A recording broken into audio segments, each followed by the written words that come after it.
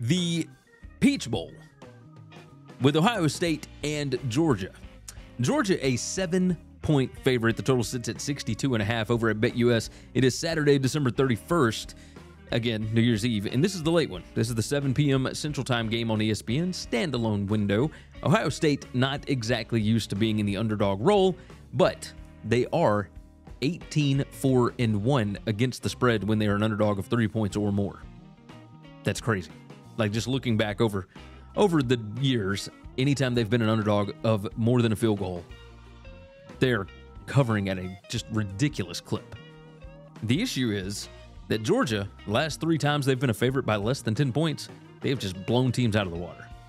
Like they have covered at a ridiculous rate. So we look at this. Georgia favored by seven here. Let's go on and pull up the numbers for you so that you can see exactly what we're looking at. And the overall numbers have actually got uh, Ohio State favored by 4.47. Now, the way that this number works is based on plays per game. It's based on uh, net points, points per play, like et cetera, et cetera. The the points per play for Ohio State is absurd for their offense. 0.65 points per play for them, and they run 67.67 plays on offense.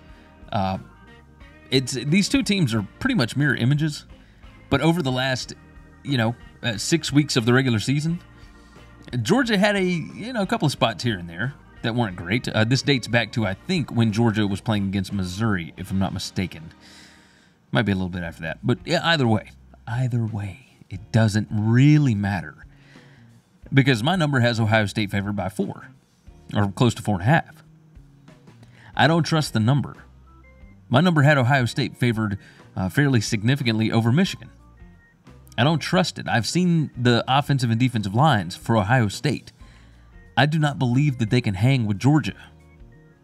Like that's there's no number on here that you can get to that's going to make me believe that Ohio State can mash with them in the trenches. Georgia will lean on them and lean on them and lean on them. They'll rely on Milton and some of those other guys in the running back room. I know that Ohio State's defense is really good against running backs and tight ends coming out of the backfield to catch passes. Okay, like I think Stetson Bennett is going to be able to find AD Mitchell. Like they have had plenty of time to be able to get those wide receivers healthy. Georgia's got pieces everywhere.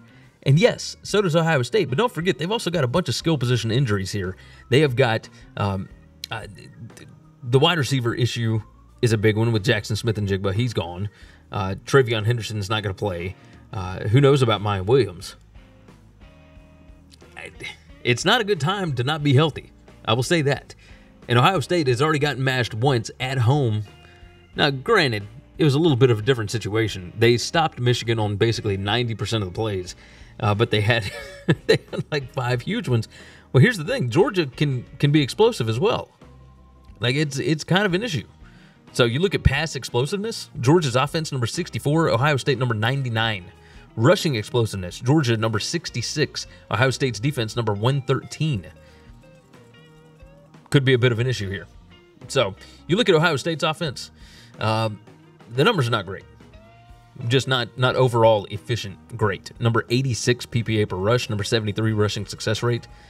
Going up against that Georgia defense, eh, that ain't gonna work. Georgia number five and number 14 respectively in those you look at the passing game, Ohio State number 37 in PPA per pass. That's predicted points added per pass since week eight. Passing success rate number 70. CJ Stroud just it all kind of fell not I'm not fell apart. Obviously, they're still doing pretty well. It's that they're they're not great. We expected them to be great. When you're when you're missing out on guys, that's kind of an issue you look at points per scoring opportunity. You look at a bunch of other stuff. Like it, one of the big issues here, points per scoring opportunity. Uh, as far as Ohio State's defense, they're number 90. Georgia's offense is number 38. Ohio State's offense is number 30 in points per scoring opportunity. That's drives inside the opponent 40 yard line. Uh, Georgia's defense is number 21. Like red zone conversion percentage, like that's that's a problem for uh, for Ohio State. They they give up 91 percent of their red zone conversions uh, to the opposing team. Uh, that's not good. That's number 120. Georgia is number one Like they only allow 60% of red zone conversions. Uh, Georgia number one offensive red zone conversion percentage. Uh, Ohio State number four on offense. Like I, I'm going to trust Georgia here to be able to get this done. I know the number's big, and I know that my number goes against that, but I ain't trusting the model. You're gonna have to give me Ohio State some other time because right now uh, I'm rolling with the dogs. Give me Georgia. Georgia to cover seven against Ohio State. Hey, if you like this video, go ahead and hit the like button, hit the subscribe button, and of course, jump in the comments. Thanks for listening to Winning Cures Everything. Make sure and subscribe on YouTube or your favorite podcast app, and make sure to leave a nice five star review. You can follow Gary on Twitter at GaryWCE, and the show is at Winning Cures. Be sure to check out the merch in our web store and share the show.